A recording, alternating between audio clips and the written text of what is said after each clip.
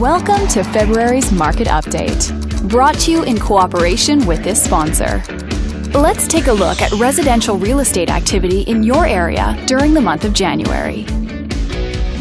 The number of active listings was down 23% from one year earlier and down 1% from the previous month. This smaller inventory means that buyers who waited to buy may have had a smaller selection to choose from.